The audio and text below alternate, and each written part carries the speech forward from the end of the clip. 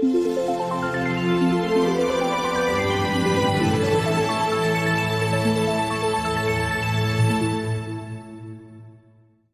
日 NBA 最大的新闻话题就是卡佩拉终于成功续约火箭，五年九千万美金，这也彻底圆了休斯顿火箭球迷的梦想。火箭上赛季的核心阵容还是保留下来了。今天火箭还有喜事，火箭官宣续约卡佩拉后又赢三个好消息，火箭依然是勇士最大敌人。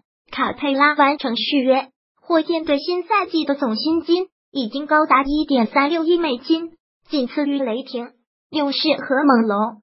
火箭队现在预计将支付两千一百四十万美元的奢侈税，这原本是一个坏消息。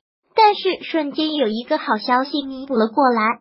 休斯顿纪事报官方报道，火箭接下来很可能会裁掉或者买断安德森，除去安德森的溢价合同，火箭就能够减掉大部分的奢侈税。虽然火箭老板已经明确表示愿意缴奢侈税，但是安德森犹如鸡肋。新赛季他还能为火箭提供多大的三分火力？第二个好消息是。卡佩拉续约火箭之后，美媒也更新了下赛季的 NBA 球队实力档次。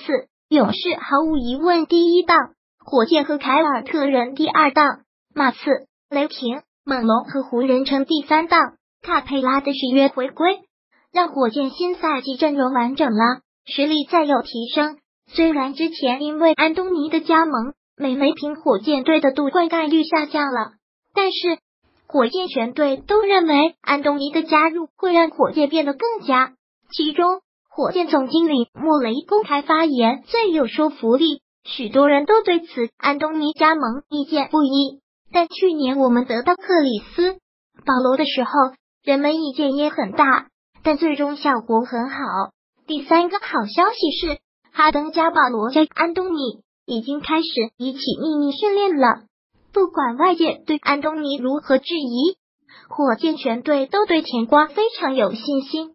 毕竟安东尼曾经是得分王加世界全明星，实力不容置疑。火箭新赛季阵容基本出炉，哈登加保罗加安东尼加卡佩拉加塔克五人首发，戈登第六人，外加杰拉德格林、麦卡威、詹姆斯温尼斯的第二阵容。火箭新赛季依然是勇士最大敌人。